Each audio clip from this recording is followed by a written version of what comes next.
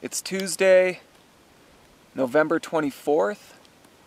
We're on a east, northeast facing slope, um, about 9,000 feet, uh, looking down into the Middle Basin. So we skinned up Beehive Basin, dropped down onto this slope, and you can see the snowpack here is uh, pretty thin. We're looking at 35 centimeters of snow here, and the thing that's a bit concerning about this snowpack is it's just turning really weak.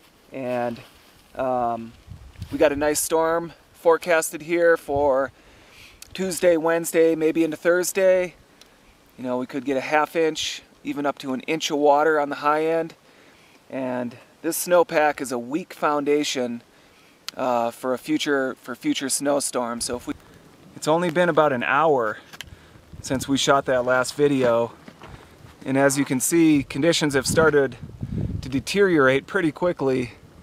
Uh, ridgetop winds are picking up, starting to move some snow.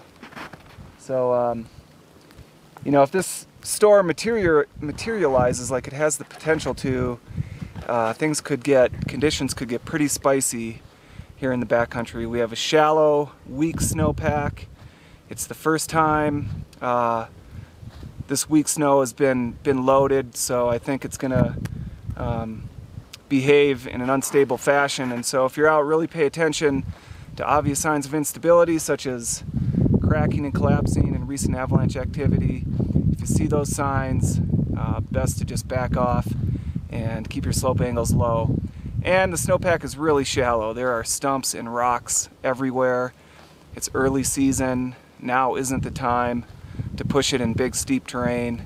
So if you're out this weekend, just really err on the side of caution and uh, play it safe.